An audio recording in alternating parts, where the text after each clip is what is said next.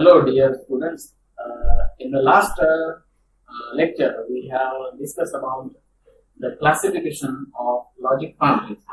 Now, in this lecture, uh, among the classification, we have seen that uh, there are two types of uh, logic families. They are mainly classified into two types. One is called as bipolar and one is called as unipolar. In the bipolar logic family, we have discussed about saturated logic families and non-saturated logic families. In the saturated logic families, we have uh, seen the topic uh, or seen the classified group of uh, TTL uh, logic families. Today we are going to discuss about the TTL logic gates. How these TTL or transistor transistors logics are formed how their circuit works and how they are used as the logic gates.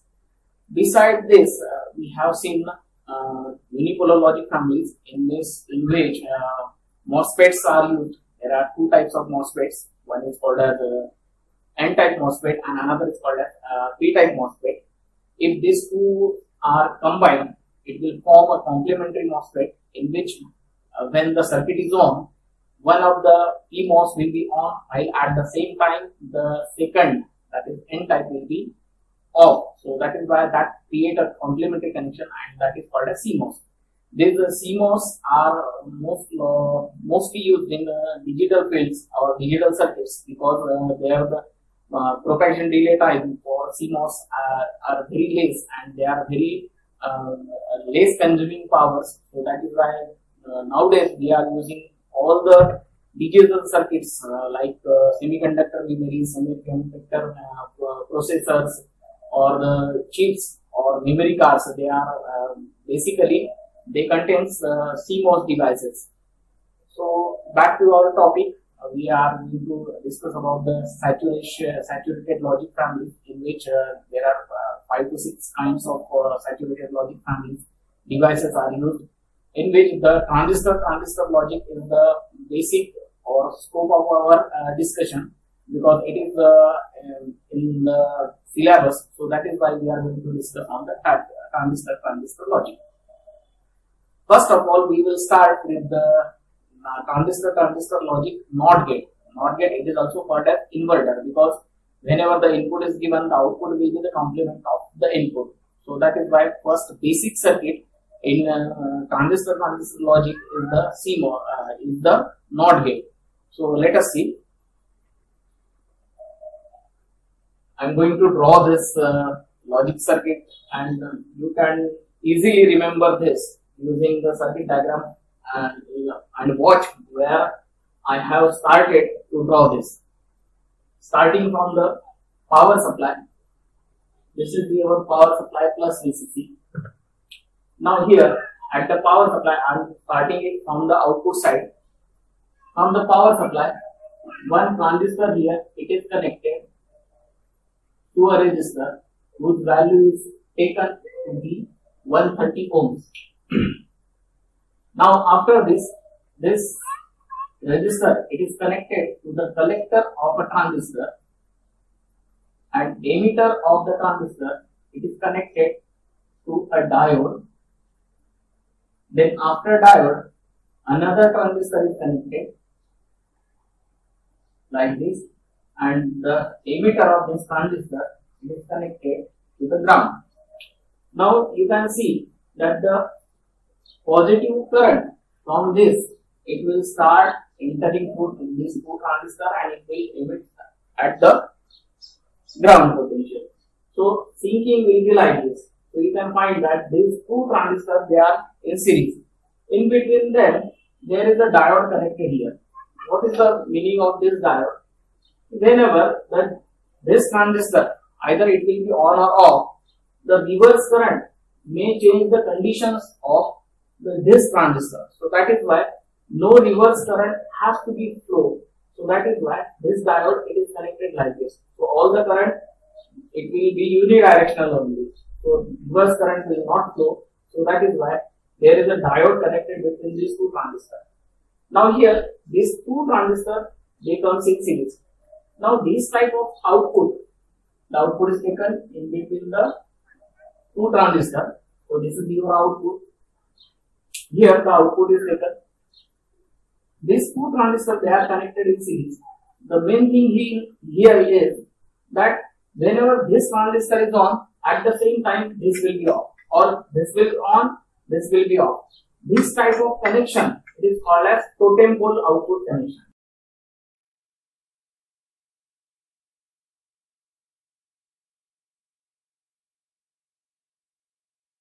Whenever there are two transistors and output is taken in between the their common connection, this uh, this connection is called as totem pole output, in which uh, any one of the transistor will be on at the same time.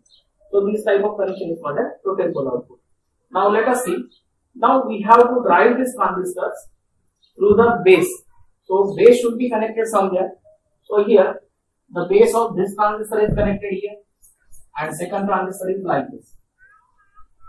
We have to drive, drive this transistor. We know that whenever the transistor is connected in common emitter connection, at that time, if suppose the voltage across the base of the transistor is suppose 0 volts, then there will be no forward biasing present at the base and emitter of the transistor.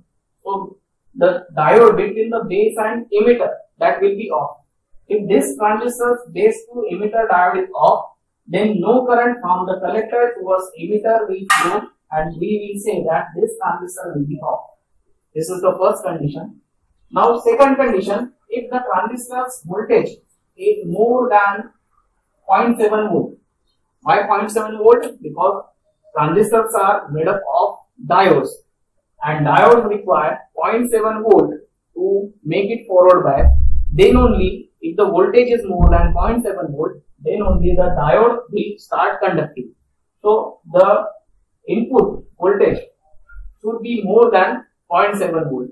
We are inputting here plus 5 volt because we are considering the digital circuits and in digital circuits you might have known that logic levels are connected and to connect the logic levels if one is to be connected then we have to connect plus 5 volt and if 0 is connect to be connected we have to connect 0 volt so these are the logic levels. That is why we have taken these two voltages. Suppose the voltage at the base to emitter is plus 5 volt. Now this voltage is more than 0.7 volt. So here the diode between the base to emitter, it will be forward bias and if it is forward bias, then current will start flowing through it or this diode will be on. Obviously, the current from the collector to emitter, it will also start flowing through it.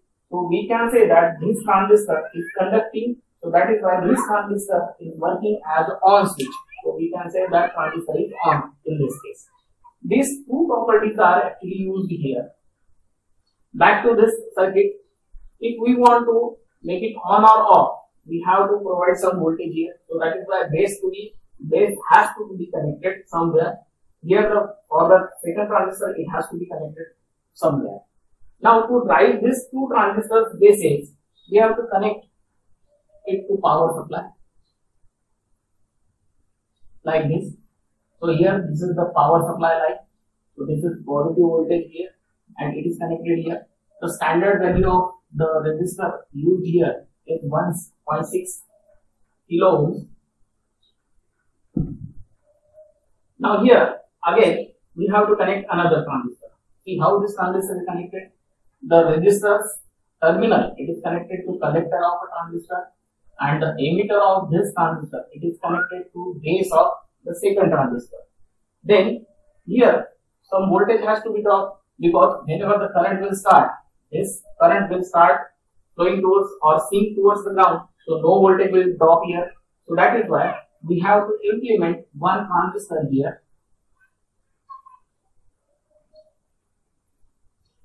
and its value is 1 kilo so whenever the current will start here the current will create the voltage drop and this voltage drop should be more than 0.7 volts. So that is why the value of this resistor is kept at 1 kilo. So this voltage will drop and it is parallelly applied between base emitter of this transistor. So that is why this voltage will drive this transistor. If the voltage is present, this will be on. If it is absent, then the transistor will be off. So in this way, this transistor, it is driving the base of this transistor. How? the collector that is the output of this transistor is connected to base of trans this transistor and emitter is connected to base of this transistor. So in this way, this circuit is completed. Now again, to drive this transistor, we have to connect an another connection here.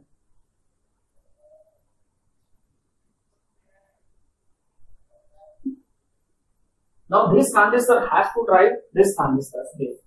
So that is why the collector of this transistor it is connected to the base.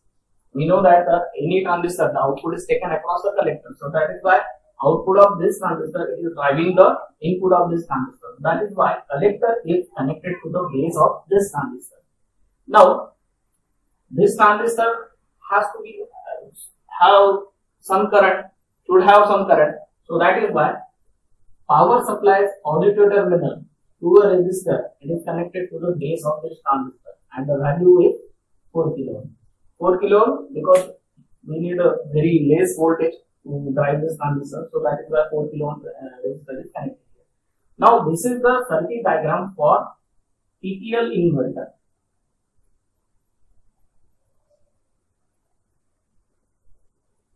So this is what TTL NOT gate. So you can remember this circuit. This is totem pole output. This totem pole has to be driven by the transistor. So collector is connected here, emitter is connected here. Now this transistor is driven by another transistor its collector or output is connected to input of this transistor. Now the emitter of this transistor will be the input for this gate.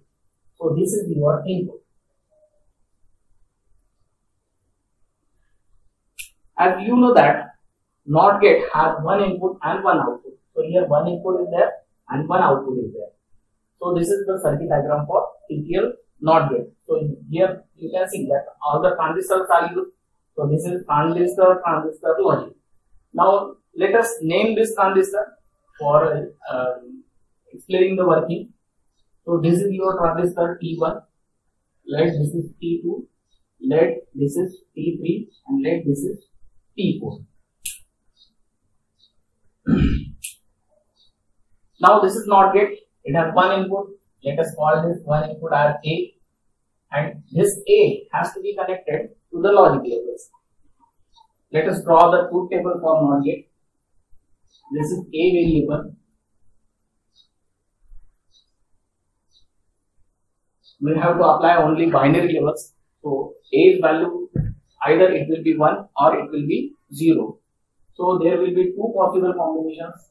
Either input will be 0 or either output uh, input will be 1. What about the output? Output's Boolean equation or NOT gate is a complement. Now let us take whether it's true for this circuit or not. Starting from the input, let us put the first value that is input A is equal to for example 0. If 0 is connected that means this terminal it should be connected to ground potential. Then only this voltage will be 0. Now see Power supply is on, so current will start flowing through all the resistors. Starting from transistor T1, the current will start here. The emitter of this transistor it is connected to the ground potential. This transistor, if you observe, this transistor is of NPN type. That means its base is positive type and emitter and collector are of N type.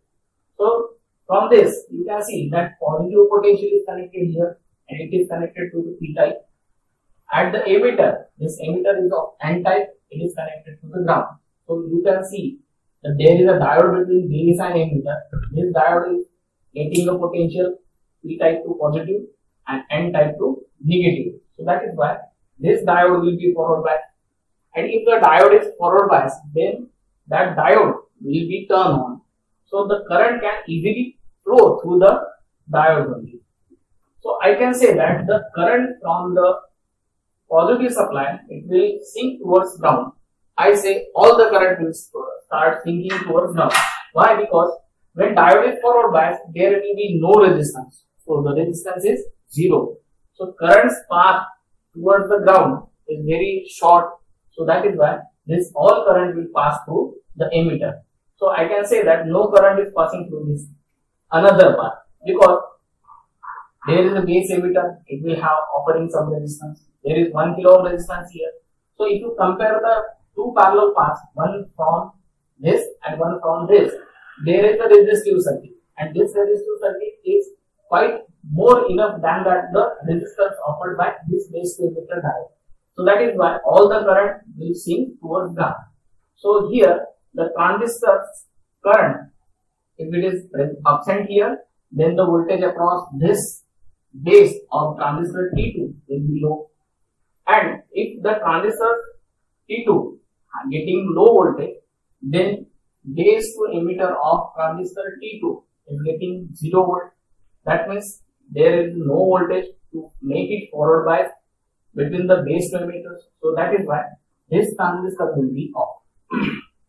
so here T1 is on, T2 is off. Now what about T2? Now the current from the plus VCC, it will enter up to this point only because base to emitter diode it is reverse bias and this transistor is off. So no current will flow towards this circuit. So the current will drop here and if the current drop here, the voltage across this point will be high. high means it will be more than 0.7 volt because in digital circuit we only uh, two voltage levels high or low. So that is why we are considering only two voltages low or high. So here at the transistor's base of T3 the voltage is high. What about this? As there is no current here, no current through the resistor, so it will not drop any voltage. So that is why the voltage across the base of uh, transistor T2 it will be also low. If high voltage is connected to transistor's base emitter of T3, then this transistor obviously will be on because base to emitter voltage is high. So diode between the base to emitter will be turned on or forward back. So that is why all the current can pass through the transistor. So that is why we can say that the transistor is on. So all the current from plus VCC through 130 ohm resistor, it will sink towards the diode because the diode and because the transistor is on. So current is reaching up to this point. Here, positive is connected to P type of this diode and N type is connected to ground through the transistor T4. So this is also covered by. So current can pass through the diode also. Now the current is reaching at output Y. What about T3? Now T3 again base to emitter of this diode getting low voltage. So that is why it will be reverse bias. If reverse bias, this transistor will be off. So here the current will not sink towards ground, it will drop here. So if you connect a resistor and LED